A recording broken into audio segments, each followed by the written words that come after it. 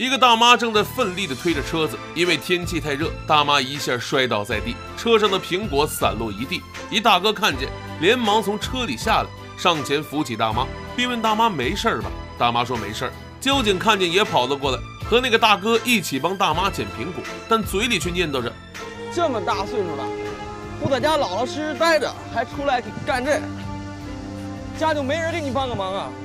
要不是看你这么大岁数了。我们非得罚你款。大哥听不下去了，说道：“说这些有啥用啊？快把这些捡起来，把道路疏通了。”不一会儿捡完了，车子陆续启动。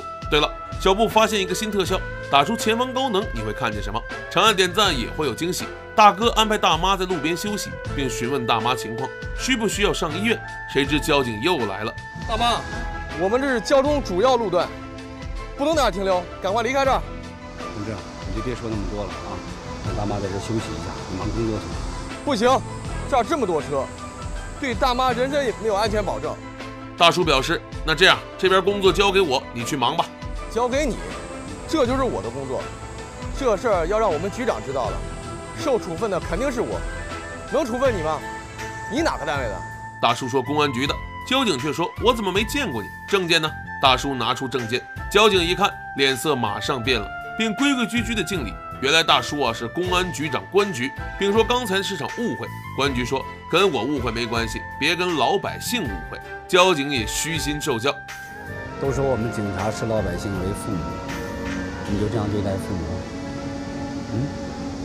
要是你的母亲推着车在路上摔倒了，你也这么跟她说话？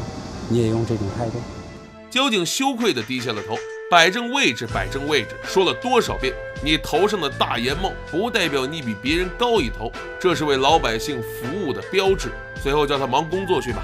交警是个好交警，只是话有点冲。局长也是好局长，小伙伴们，你们怎么看？局长跟大妈说这是交通要道，在这休息啊，的确是很危险的。一会儿我带你换个地方。长按点赞支持，这真的很重要。我们下期见，八八六。